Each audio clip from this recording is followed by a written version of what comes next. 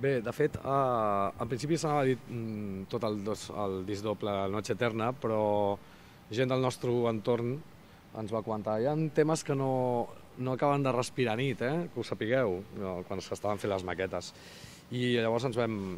Jo ho vaig plantejar, escolta, que m'han dit això, tio, i, i vam dir, bueno, doncs potser al final hi acabem eh, posant dues parts amb el disc que, fins que va venir doncs, un dels temes es deia Los dies no vividos i pensàvem que englobava també bastant doncs, a, aquesta llum diferent d'aquests temes que no, que no respirava nit, i era cert, hi havia alguns que era més de qüestió de, de caiguda de sol que no pas de, de 3 de la matinada. No?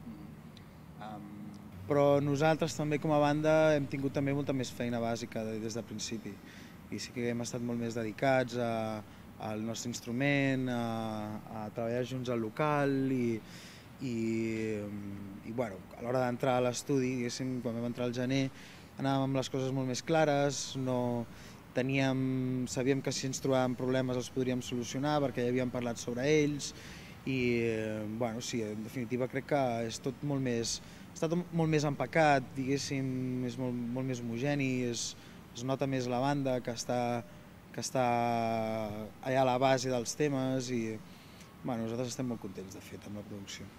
On esteu per això? Mm, bé, la veritat és que nosaltres intentem sempre pensar en, una, en la carrera de la banda com una cosa que ho puguis mirar des d'una distància, una perspectiva i pensis que, doncs que, que ha estat una carrera molt coherent i que ha valgut la pena, etc.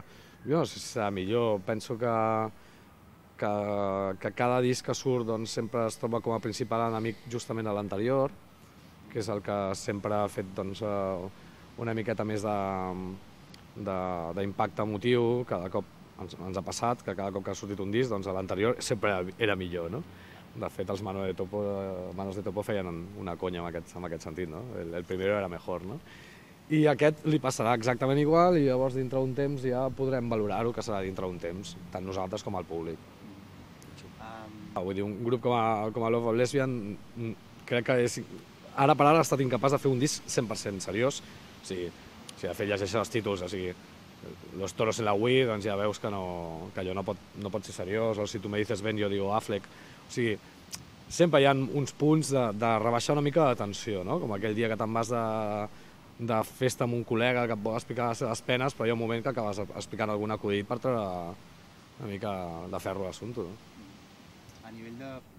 L'any passat, amb la gira del disc anterior, vam, vam anar a tocar a Argentina, a un mm. festival, vam ser molt ben rebuts, i el disc es va poder publicar allà, es va editar allà, però diguéssim que tenim molta gent de Mèxic, Xile, Colòmbia també, que, que ens escriu, sobretot de Mèxic, és que per cada 10 que escriu mm. de Mèxic escriu dos d'Argentina i, mm. i tant. No? Llavors és com... Creiem que aquest pont l'hem de creuar, si volem tenir, veure realment com funciona la lesbiana a Sud-amèrica, creiem que hem d'anar a Mèxic i veure com, com respiren els temes allà. Uh, hi ha una referència vuitantera, però mm, sí que ens agraden aquests grups, eh? però ens havíem fixat en grups d'ara que a la seva vegada, vull dir, la referència era vuitantera, no? Però o sigui, és com un... han troncat directament en aquella època, però potser, no sé, quan diem M83 és que sí que en realitat ens agraden molt. I M83 doncs, té uns sorolls de caixes, de bateries, etc que són més 80 ja no poden ser. Llavors, no és que hàgim estat escoltant, no, anem a escoltar els discos dels 80, sinó que coses que ens trobam per festivals per ahir, en realitat. O DeLorean, en un moment donat, que també són ultra vuitanteros quan volen, no?